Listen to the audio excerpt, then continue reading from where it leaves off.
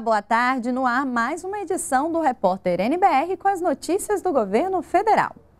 O presidente Michel Temer está na China. No primeiro dia da viagem oficial, ele se encontrou com empresários chineses em busca de investimentos para o Brasil. O nosso repórter João Pedro Neto está em Pequim e traz os detalhes. O presidente Michel Temer chegou a Pequim por volta das 10 horas da manhã desta quinta-feira, pelo horário local, para uma visita oficial de três dias à cidade e foi recebido no aeroporto da capital por autoridades chinesas em uma pequena cerimônia. No primeiro dia da viagem, teve reuniões com diretores de grandes empresas do país asiático dos setores de energia, infraestrutura, telecomunicações e aviação. Michel Temer apresentou as oportunidades no Brasil com as concessões à iniciativa privada no âmbito do PPI, o Programa de Parcerias de Investimentos do Governo Federal. Depois dos encontros, o presidente afirmou aos jornalistas que os chineses demonstraram confiança e interesse em investir mais no país. Nós tivemos várias reuniões com empresários chineses, foram quatro grandes empresas chinesas que estão investindo no Brasil e querem investir cada vez mais, revelando uma confiança extraordinária é, no nosso país, no setor de energia, no setor de elétrico, no setor de migração. Nós salientamos a questão da Eletrobras e das 59, 57 novos setores que estão colocados à disposição da iniciativa privada. Todos eles revelaram interesse. O ministro da Indústria, Comércio Exterior e Serviços, que acompanha o presidente na viagem, também falou sobre os encontros com empresários e disse que as reformas em curso no Brasil e a melhora no ambiente de negócios favorecem a chegada de novos investimentos estrangeiros. Temos uma grande empresa, por exemplo, que tem participação em uma, uma empresa de aviação civil do Brasil, é uma das maiores empresas de aviação civil brasileira. Essa empresa também participa em vários hotéis no Brasil. Eles vão investir numa rota é, China, Portugal, Portugal, Brasil e querem também entrar em participação no aeroporto do Galeão. Então, estão aguardando apenas que a medida provisória que está tramitando no Congresso a respeito das concessões de aeroportos ela seja aprovada para que eles possam fazer esses investimentos. Já nesta sexta-feira, segundo dia da visita, Michel Temer cumpre agenda oficial de chefe de Estado e se reúne com o presidente Xi Jinping e com autoridades chinesas. Segundo o presidente Temer, o objetivo é incentivar as relações comerciais, políticas e culturais entre os países. Mas ainda antes de chegar à China, a viagem internacional já produziu resultados. Em escala em Portugal, Michel Temer se reuniu com o presidente Marcelo Rebelo e na parada no Cazaquistão teve encontro com empresários locais que sinalizaram a intenção de aumentar os investimentos no Brasil. O presidente de Portugal uh, me recebeu e confirmou algo que já vinha sendo negociado, que é a compra de aviões da Embraer.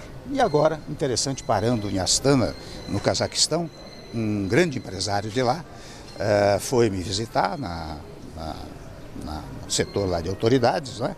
e comunicou que vai continuar investindo no Brasil. Ele já investiu 1 bilhão e 400 milhões eh, lá na Bahia, vai investir mais 1 bilhão, foi isso que ele veio dizer, de dólares, mas até está se associando com um grupo chinês não é? É, para fazer esses investimentos. Já no último dia da visita à capital chinesa, o presidente Temer participa de um seminário de promoção de investimentos organizado pelo governo federal.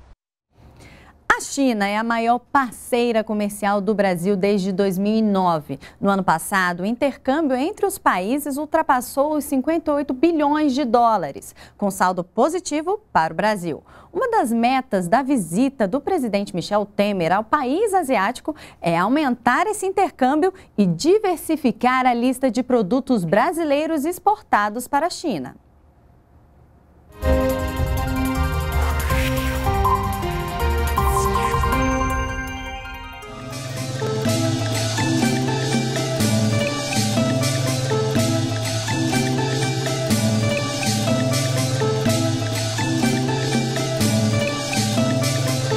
China do século XXI, tudo é em grande escala. Com a maior população do planeta, o país se aproxima de 1 bilhão e 400 milhões de habitantes, que impulsionam a economia que mais cresce nas últimas décadas. O gigante asiático, em processo de modernização, compra e vende muito para sustentar o desenvolvimento. Um mercado importante para o mundo e para o Brasil. Eles são grandes demandantes de, de commodities brasileiras, né?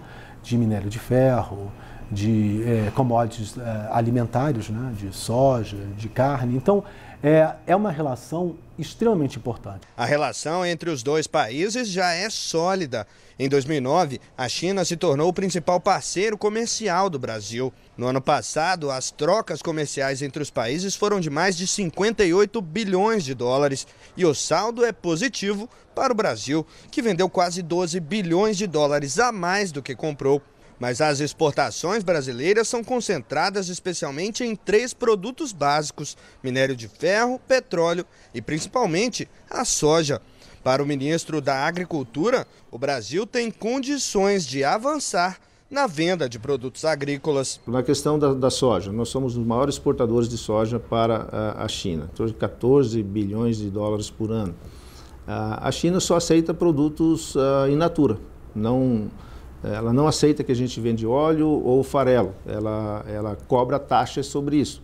É importante para o Brasil que nós pudéssemos industrializar mais aqui e vender produtos de maior valor agregado para eles. Então, nesse sentido, tem como avançar, quer dizer, teríamos que ter uma cota de produtos para vender dentro da China.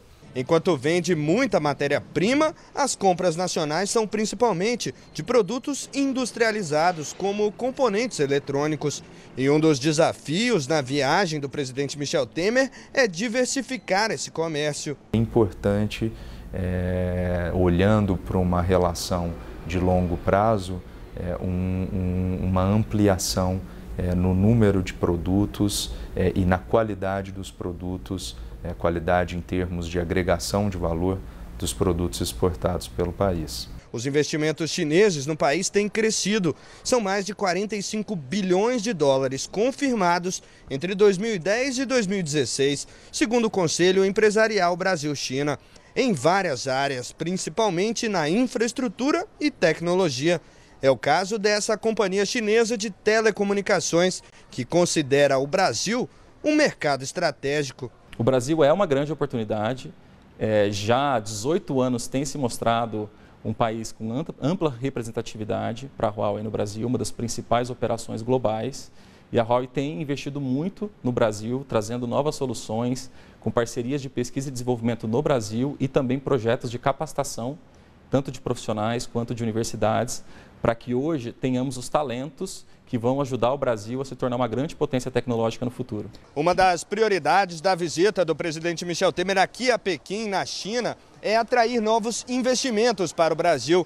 E além de se reunir com representantes de empresas chinesas que atuam no país, o presidente deve participar de um seminário de promoção de investimentos e apresentar aos chineses as oportunidades que surgem no Brasil com as novas concessões e parcerias público-privadas do PPI, o Programa de Parcerias de Investimentos do Governo Federal. Um ponto importante da visita é apresentar aos investidores chineses os novos projetos da PPI, os planos de privatização que resultarão em melhor comércio com a China, porque vários deles têm a ver com o escoamento dos produtos que nós exportamos para o mercado chinês.